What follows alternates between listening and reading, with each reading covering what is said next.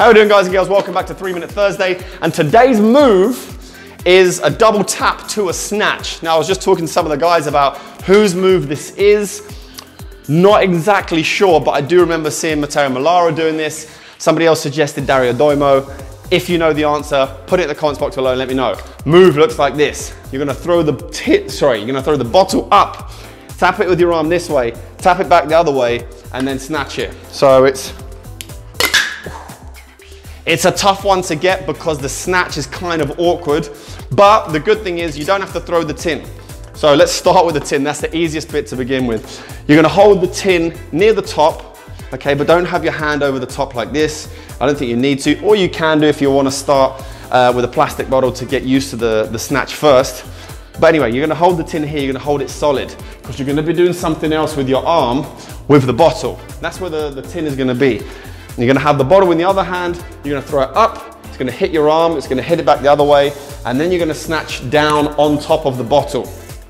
So the bottle is doing this. Okay? As I throw it, as soon as I let go, I'm hitting my arm on the bottle like this.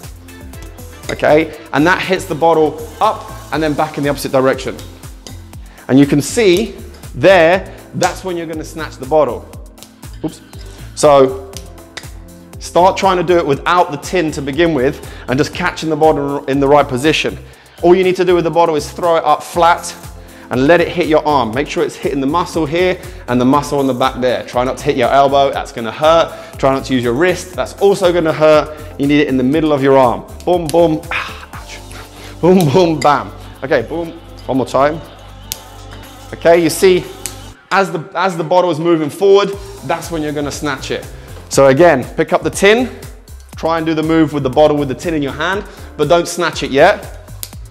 Okay, just get used to where that bottle is gonna be and then start catching it with the other hand and then snatching the bottle. Okay?